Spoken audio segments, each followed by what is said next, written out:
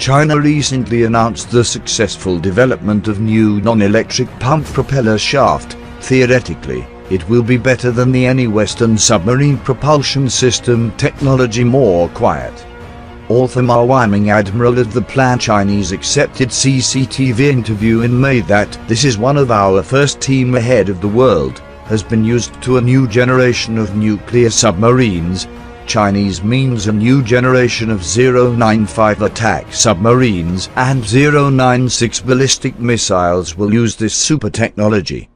Mechanical transmission shaft propeller is quite different from the traditional electric motor which by the propeller shield embedded in the drive wheel drive system with pump jet ring motor hood, jet vane the rotor cavity, to produce thrust.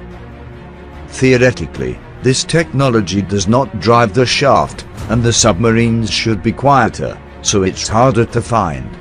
In addition, the new propeller can reduce air bubbles, which will also help to reduce noise and improve the stealth performance of the submarine. The United States Navy improved in Los Angeles, the Seawolf and Virginia class submarine attack submarines using the spray pump push technology.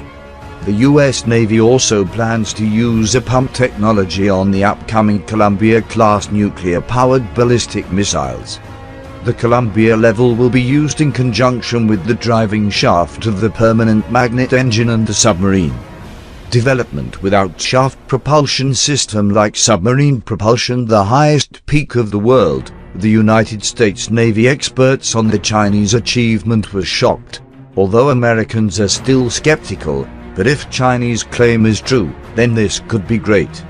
If it is true, there is no doubt that China will keep the seabed advantage over the quietest American submarines.